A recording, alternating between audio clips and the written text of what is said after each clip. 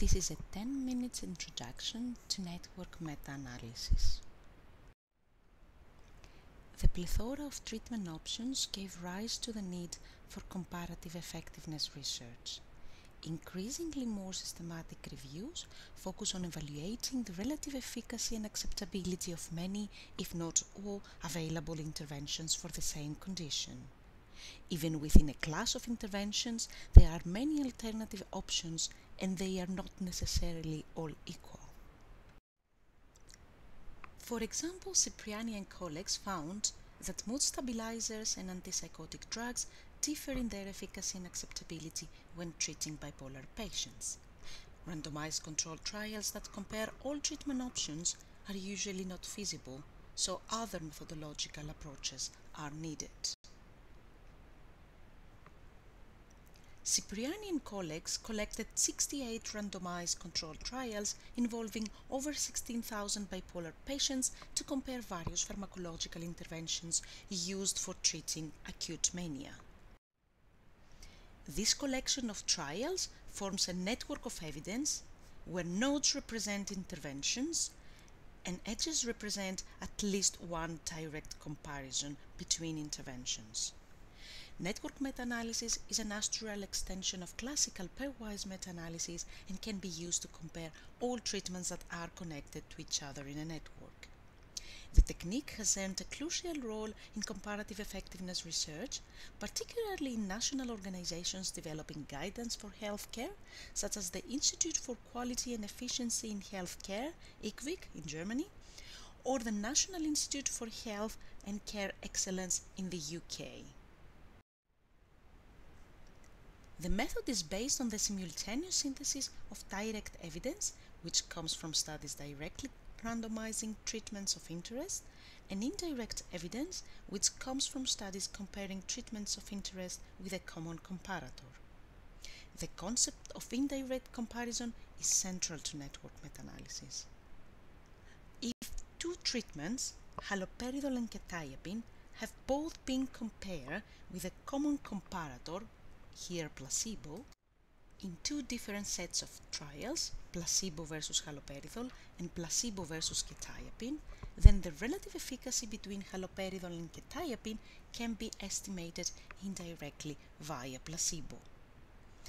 We basically perform a meta-analysis for each direct comparison versus placebo, and then we subtract the two estimates to get the indirect treatment effect.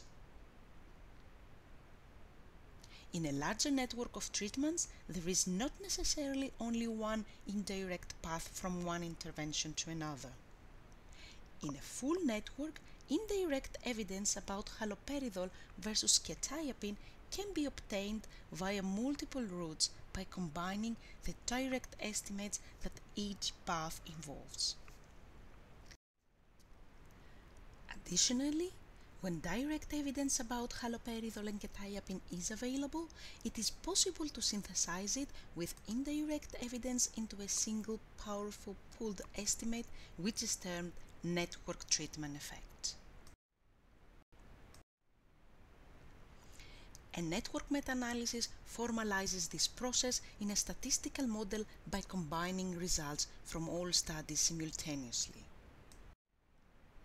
It enables us to obtain relative treatment effects for all pairs of interventions, even for those without direct evidence. It can also improve precision by reducing the width of the confidence intervals compared with those obtained from direct evidence alone. Note that when we estimate treatment effects, randomization is preserved. Nevertheless, indirect comparison and consequently network meta-analysis provide observational evidence because the treatments being compared have not been randomized across the individual trials.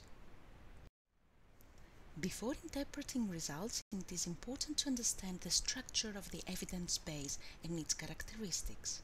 A graphical presentation of the evidence network provides an accessible and understandable format for describing the evidence. By plotting nodes and edges proportional to the amount of information they carry, the graphical presentation conveys how much evidence is available for its direct comparison and which contributes most. Colors in the edges can be used to convey additional information, such as the risk of bias in the included studies. In this network, information for comparisons in red and yellow comes primarily from studies at high or moderate risk of bias respectively, whereas comparisons that include studies at low risk of bias are presented in green. One of the challenges is how to present the complex set of outputs.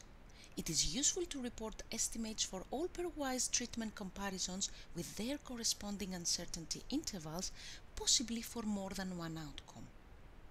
Alongside the network meta-analysis estimates, the direct estimates can be presented to provide a complete and transparent picture of the available results. Most published articles use a league table like this one or a forest plot alike graph to report this information. A key strength of a network meta-analysis is that it can lead to a single coherent ranking of treatments. Probabilities for each treatment taking each possible rank can be presented in a table or in a rankogram. It is important to look at such rankograms rather than the naive ranking or the probability for each treatment of being the best before drawing conclusions, because the latter might be misleading. Ranking measures and probabilities are straightforward to understand and a convenient way to present network results because clinicians usually want to know the preferential order of treatments that could be prescribed to an average patient.